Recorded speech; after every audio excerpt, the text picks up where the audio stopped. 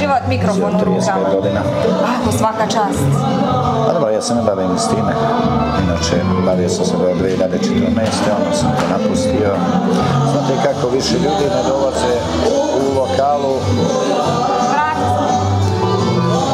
više ljudi ne dolaze u lokalu da slušaju muziku, već da dokazuju snagu, to znate. Tako da se preode, preo, otvorio sam neke firme u Beču, u Austriji, u Crnoj Gori, se bavim elektrika. Sad ste biznismen. Pa nisam. Sirotinja, uvijek ostaje sirotinja. Ali sam bogat u duši. To je najbitnije. To je najbitnije. To je- najbitnije je da smo ovdje bogati, a sve ostalo Da, kažu, dođe. to je ljubav prema muzici, ovaj, kad jednom se zaljubiš u tu muziku, to je kao da se zaljubiš u jednu ženu.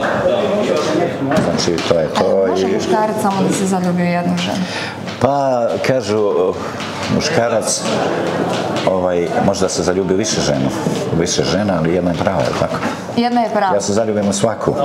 Svaku Evo, već sam se zaljubio u vas, ali imam tamo jednu pravu.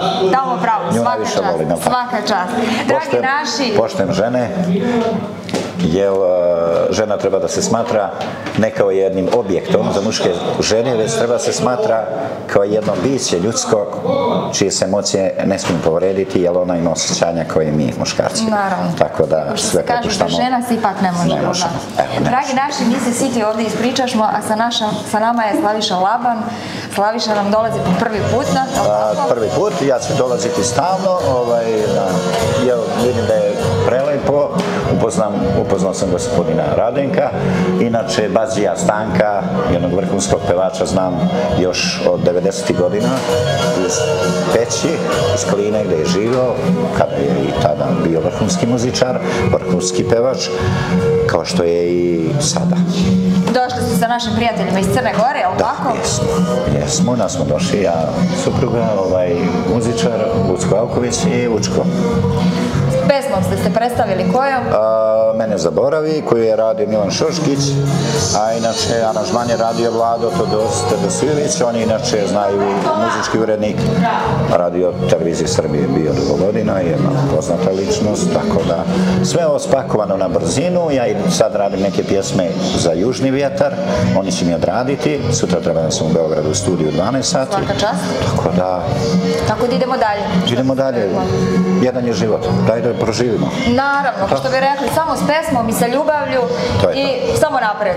Kad bi svi pevali, gdje bi svijet bio? Naravno, utisci sa večerašnjeg festivala, onako što ste na, rekli na Pa. prvi dolazak stekli, Pa evo, stekao sam jedan utisak da, je, da su ovdje divni ljudi, e, lijepi izvođači, ima dosta kompozicija, mnogo dobrih, ima vokala fantastičnih, o tome će žiri na kraju normalno, koji je komponentan da odredi ko će osvojiti prvo mjesto. Meni se ovo sviđa. Ja kažem neko osvoji onaj najbolji. naravno, ko što kažu, najbitnije je druženje, nagrada, ako dođe da upotpuni to. Ma da, nagrada ništa nije, mi smo nagrađeni, nas je Bog nagradio. Glasom, pesmom, neko bolje, neko gore, ukusi su različiti. Ja možda volim Šabana, neko voli Šerifa, neko voli Badžija, neko voli vas. Svima se ne treba raspravljati. Ne, tako Samo je. nek je na pesmu i na veselju. Ma da, Hvala vam puno na ovom razgovor i ako Bog da, družit ćemo se još. ruka, hvala mi je, такой. Пошла они.